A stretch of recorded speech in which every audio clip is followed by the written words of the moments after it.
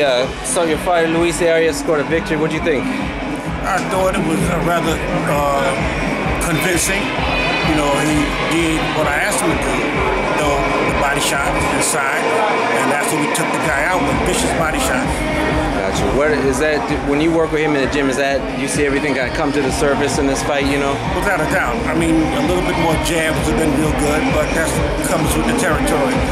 As his career goes on, he'll pick up on everything I tell him. What makes him such like a promising fighter, and what are you expecting from him? He listens. That's the whole key. He listens. Luis Arias, impressive, vic- impressive victory, Luis Arias, man. How did it feel being in there? It felt good, you know. Um, we worked really hard, you know. So um, I knew coming into the fight I was in very good shape.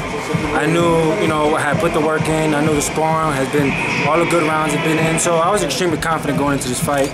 I knew the opponent, you know, it was nothing he could he could bring to the table that I haven't already seen. You know, had a good staff, so I was real comfortable going in there. And um, I felt like, uh, you know, I took my time. I could have worked my jab a little bit more, but I just knew he wasn't gonna be able to stand once I hit him with a couple body shots. So um, I felt good. It was a good fight. You know, it was a, you know, it was a good win for me.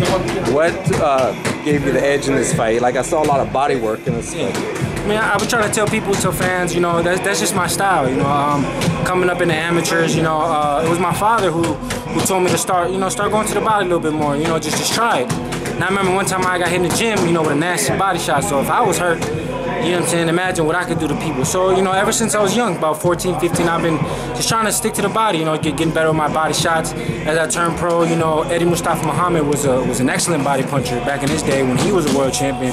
So he actually, he helped me take my body shots and my, and my technique to the body to the next level.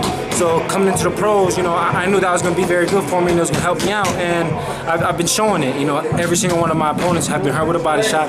I've been hitting a lot of people with body shots, and that's what I'm going to continue doing. Well, how was the crowd here? You know, you're not fighting in Vegas. It's kind of a small town here. No, But I mean, I, turnout. I felt like it was live. It was live. It was a lot of people there. Um, I was lucky enough to have some family out here, you know, and I have a, lot- I have a lot of support. Um, but it was cool. It was fun. You know, it's good to, to you know, you got to you got to switch it up a little bit. You know, there are boxing fans all over the world. You know, they're not only in Las Vegas. You know, people love boxing everywhere. So it was a good experience to come out here and to, to, to you know Shelton.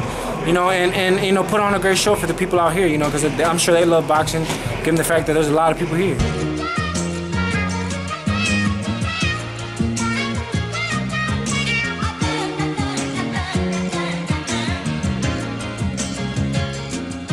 Now I'm back in the game, just trying to display my name. I'm opening my delivery, so delivering my pain. And I show what I know through paper and pencil. Cause I don't rap about swag, cause swag is for bitch show.